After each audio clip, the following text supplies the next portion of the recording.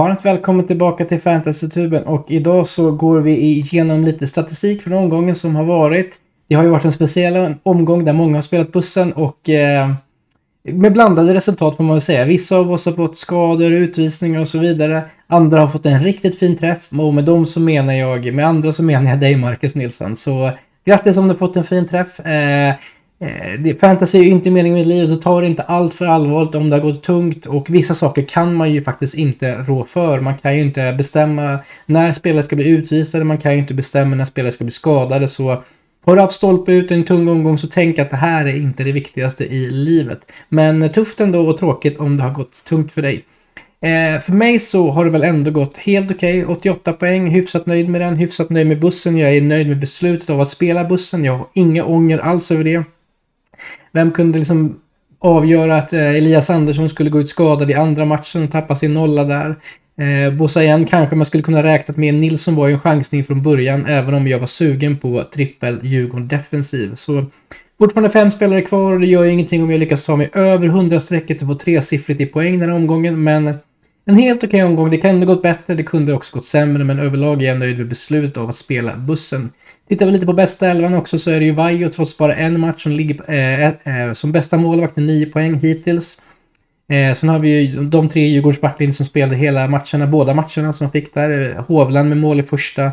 Berg Eriksson också med poäng och också Rygaard och Campos. Campos som var en liten osäker spelare med tanke på att han hade spelat eh, 60, 63 och 70 minuter ibland i liksom, matcherna innan så kändes det osäkert. så Jag ångrar inte att jag inte gick på Campos men om du gick på Campos, snyggt jobbat, fina poäng och eh, helt okej okay poäng också på Granato och Traoré får man säga, 11 poäng var.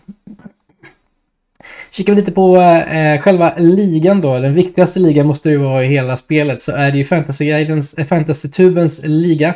Eh, Fårlagen FC med 115 poäng, fint där Lars Åkerlund fortsätter ligga högt uppe eh, i toppen där. IFK Preussen med 119 poäng knappar in lite men fortfarande en bit kvar både för honom och för Fysio FC som också fick 113 poäng. Flera stycken med fina träffar här. Eh, Pickebackens FC med 117 och Hunden Zelda Eh, 119 och så har vi också NK Patreni 101 och Oceans Eleven 112. Fint namn för övrigt och bra filmer där så flera som har fått en riktigt fin träff och, och eh, jag har inte fått det riktigt på samma sätt men ändå hyfsat nöjd med omgången som den har varit. Kikar vi lite på matchen här då, så om vi backar till den första matchen så var det ju AIK mot Djurgården där och Campos som gör både mål och assist. Han var ju lite osäker så jag ångrar inte att jag gick på honom, men fint för dig som gick på honom. Örqvist får ju en assist här också och eh, Campos och Örqvist får ju en eh, offensiv bonus var, men en som får både offensiv och defensiv bonus det är ju Gravius. Fortsatt bra tvåvägsspelare. Fortsatt eh, fin spelare att ha i sitt lag och spela, framförallt i hemmamatcherna där Degerfors har visat sig starka och som ni kan se i statistiken så borde de gjort 1,74 mål och eh, AIK borde gjort knappt ett mål och matchen slutar med 2-1 så det får väl anses logiskt. Campos i topp på XG-statistiken, alltså förväntade mål. Eh, mycket med tanke på straffen då. då. Guidetti eh, hade liksom lite chanser så här. Vukojevic också något halvchans där. Justin Salmon kom in och även om AIK-hjärtat fortfarande bankar för honom, verkar det som, så gör han ett mål och verkar ganska nöjd med det. Men AIK är i brygga och eh, om det blir torsk också i derbyt så tror väl vi allihopa att det är dags för en ny tränare. Inte för att Brännarna, det är Brännans fel att han har gjort det dåligt, men det behövs en förändring och då är det ofta tränaren som får gå. Kikar vi på nästa match som är Malmö mot BK Häcken, tidiga toppmötet här, så gör ju Vecchia mål och eh, Hammar gör självmål. Malmö fick ju ett tveksamt mål här dömt till sig Eh, Hovland ju mål som vi nämnde och Traoré också som vi nämnde tidigare. Och eh, en ganska jämn top, toppmatch där. Häcken låg på kontring där Malmö hade lite mera boll. Häcken hade lite mera XG och eh, Traoré hade ju högst XG av alla och gjorde ju också mål. AC fortsätter ha bra statistik här men eh, han får inte riktigt in bollen ändå, AC. Så eh, han har inte riktigt fått det på samma sätt den här säsongen som tidigare säsongen han spelat regelbundet. Vecchia finns där uppe också i statistiken, så också fint. Eh, han gjorde ju också ett mål.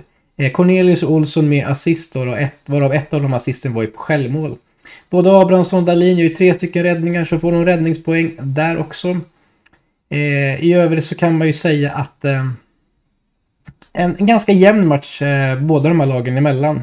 Och fortsatt så känner jag ju att Rygård är den spelaren som man vill gå på. Men eh, som vi ska komma till lite senare, den senaste matchen som spelades igår mellan eh, Djurgården och Häcken, alltså Häcken är ganska slitna, inte konstigt när man spelar tre matcher på en vecka ungefär. Häcken är inte vana med det och inga allsvenska lag är riktigt vana med det just nu.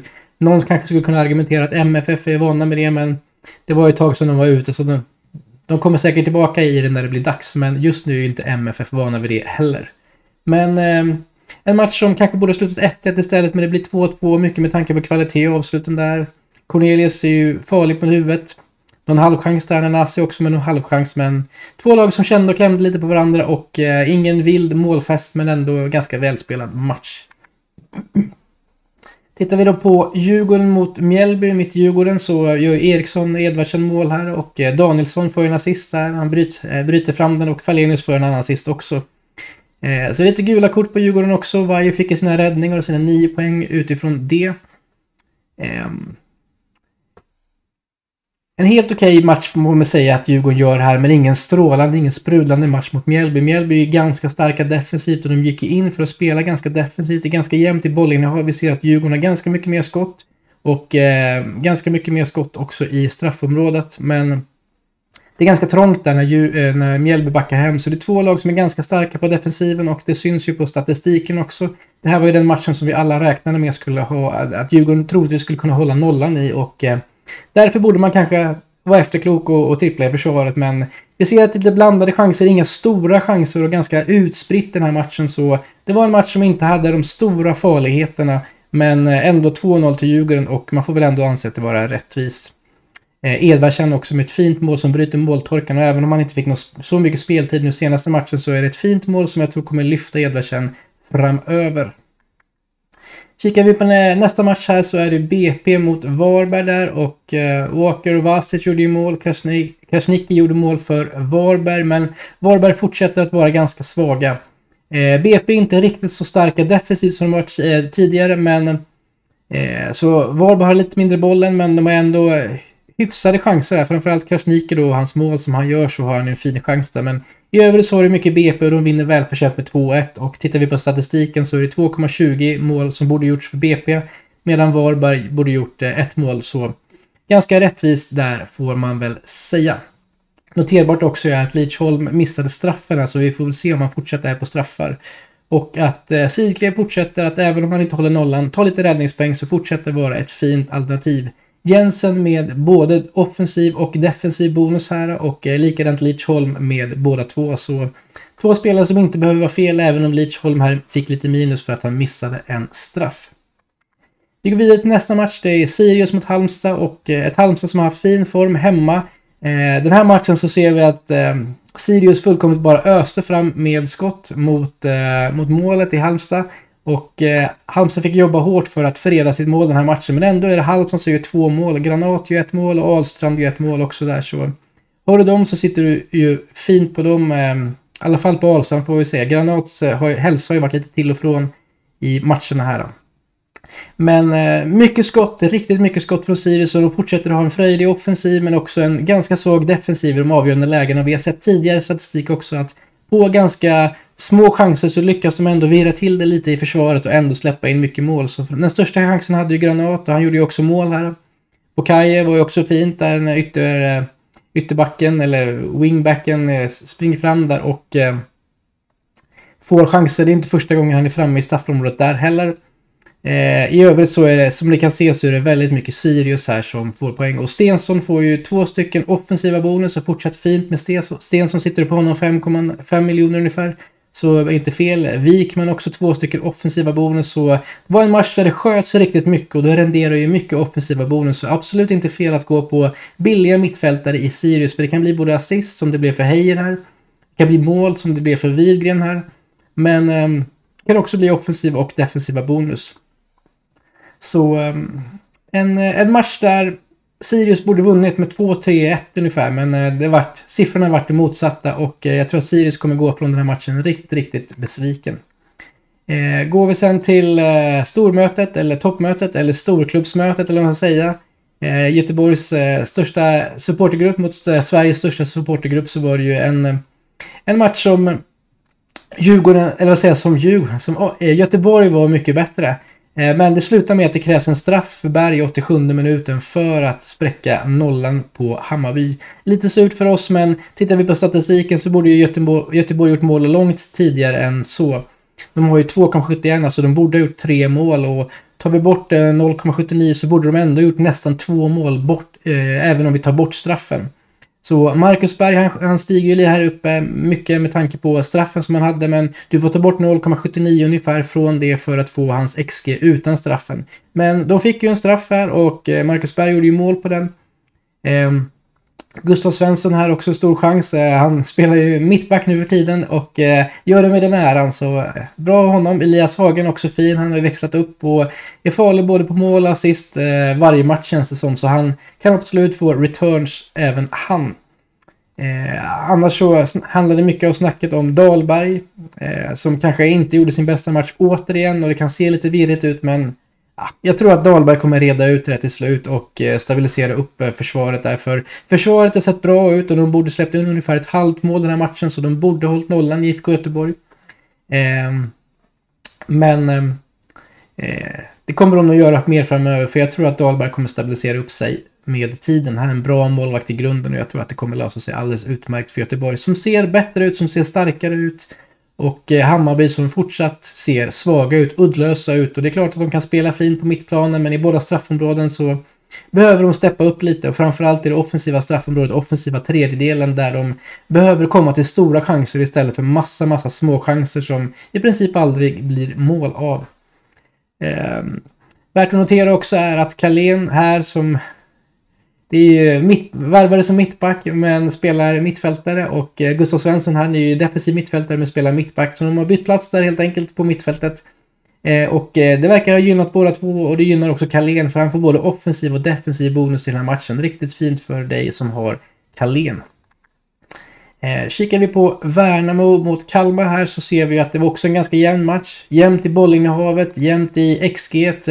Båda borde gjort knappt eh, ett mål där, men det slutar med att det är Kalmar som till slut gör ett mål. Den största chansen, största chansen kanske Wenderson hade. Eh, 0,44 så han borde gjort ett halvt mål den här matchen. Annars är det Sätra med huvudet liksom och, och Engvall som eh, fortsätter visa helt okej statistik där. Men eh, till slut är det Chamon på 0,18 som eh, gör mål och eh, det gör ju att de tre poängen tar Kalmar med sig hem till Kalmar. Eh, så annars en ganska händelsefattig match, utan det var ju två lag som satsade mer defensivt än man kanske kunde tro på förhand. Och eh, det var framförallt defensiva bonus för som sagt det blev inte så mycket XG, det blev inte så många skott och det behövs ju nyckelpass, alltså passningar som leder till skott mot mål, typ. Som, ehm, eh, som renderar i eh, offensiva bonus. Så inte så mycket bonus att tänka på från de här matcherna. Eh, vi går vidare till Norrköping mot Elfsborg och till slut så gör ju Elfsborg på ett självmål 2-1. Det är ju Traustason där som olyckligt är sist på bollen in i eget mål som gör att Elfsborg går hem från den här matchen välförtjänt får man väl ändå säga med tre stycken pinnar. Det var Norrköping som kämpade på och fortsätter vara fysiska, fortsätter vara jobbiga. Eh, men det var ett Elfsborg som hade många omhända ganska små chanser. Så inte de allra största chanserna för Elfsborgsspelare, men många chanser. Och till slut om man skjuter mycket och skjuter mycket i straffområdet som ni kan se att de gjorde här i grafiken så eh, blir det ju ofta chanser och kan det ju ofta bli mål till slut så Ockels gör ett mål, Sigurdsson gör ett mål och eh, Traustason gör ett självmål. Traustason annars som fick en offensiv bonus men minus för självmålet då. Ondrejka får två stycken offensiva bonus, höll på att säga som vanligt. Han är ju på fasta situationer och leder till nyckelpass och när Elfsborg skjuter så mycket som de gör så blir det nyckelpass och fortsatt fint att sitta på honom, även om schemat blir betydligt tuffare framöver. Um, annars värt att notera också att Römer fortsätter också att vara bonusstark med en offensiv och en defensiv bonus i den här matchen. Även om han inte är, kanske är den eh, eh, spelaren som ligger högst upp i eh, äh, XG-siffrorna så kan det bli en assist här och var med tanke på de nyckelpassen som han levererar här. Vi hoppar vidare lite och kikar lite på matchen som var igår. Det var ju Djurgården mot Häcken och eh, eh, det är ju den näst sista matchen i omgången men jag lägger upp den här videon nu för att jag ska hinna få ut den därför att ikväll kommer jag spela in eh, eh, veckans match. Jag kommer testa en ny grej. Jag kommer intervjua eh, korrespondenten som jag har från Göteborg och från Häcken inför det stora derbyt som väntar, Göteborgsderbyt som kanske får anses vara det hetaste derbyt med tanke på att Stockholmslagen går sån kräftgång och Göteborgslagen gör helt okej okay ifrån sig i alla fall.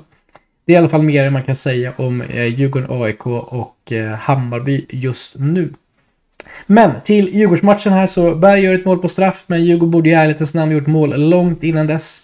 Eh, mycket chanser, mycket fina chanser. Jag tycker Wikheim såg riktigt bra ut. Falenius när han byttes in såg också bra ut. Så han hade ju en riktigt stor chans som han borde gjort mål på där Falenius när han löper in från sin kant där in i eh, straffområdet. Annars är det ganska små eh, grejer och det märktes tydligt att Häcken hade spelat tre matcher på ungefär en vecka för de var riktigt, riktigt trötta Häcken och eh, gick inte att känna igen riktigt så eh, Larsson hade högst eh, XG här med 0,16 är ju inte så jättemycket att hänga i julgran utan det var en match som Djurgården kontrollerade och eh, även om de förlorade, defensiv, eller förlorade lite i offensiven och lite momentum när Elias Andersson försvann på vänsterkanten så var det ändå en match som Djurgården vann välförtjänt. De borde gjort 2,23 mål och de gjorde ett mål så siffrorna var kanske lite i underkant. Häcken hade lite mera boll men det blir kanske också så när Djurgården har eh, Eh, Djurgården har ledningen men fram tills dess var det ganska jämnt och jag skulle säga att Häcken hade mer boll på eh, sin eh, plan medan jag skulle säga att Djurgården hade ganska mycket och fick ganska bra tryck på Häcken på också deras eh, planhalva så att säga. Så eh, en stark insats av Djurgården. Eh, jag tycker inte man ska ta ifrån Djurgården att de gör en riktigt bra match men givetvis får vi ha den asterixen bakom det att eh, Häcken såg trötta ut och de var troligtvis trötta här också. Eh, annars kan man väl säga att eh, Piotr gör en offensiv bonus. Han fortsätter vara lite mer offensiv som han har varit de senaste matcherna. Så det är en spelare man borde gått på i bussen. Berg också offensiv bonus. Han är involverad. Han gör ju också ett mål här. Wikheim gör en assist men han borde gjort ett mål också kan jag tycka. Han eh, såg riktigt het ut och ser riktigt het ut. Annars är det en defensiv bonus på ganska många spelare i Djurgården och ganska många spelare i Häcken. Så ehm, det var allt för idag. Hoppas att du gillade statistikgenomgången. Om du gör det så tryck jättegärna på tummen upp. Tryck på prenumerera-knappen, tipsa om någon annan om kanalen. Hoppas det gick bra. Är du besviken för bussen så kom ihåg att även om bussen kanske inte blev det som du hade hoppats så är fantasy inte meningen med livet. Missa inte heller kommande avsnitt där när jag kommer gå igenom eh, Göteborg mot Häcken en, liksom den här Göteborgsduellen och det kommer bli också bli en sluttankar-video lite senare, kanske framåt lördagen. Så vill du inte missa det så tryck på prenumerera-knappen så missar du inget. Men tack för idag. Allt gott!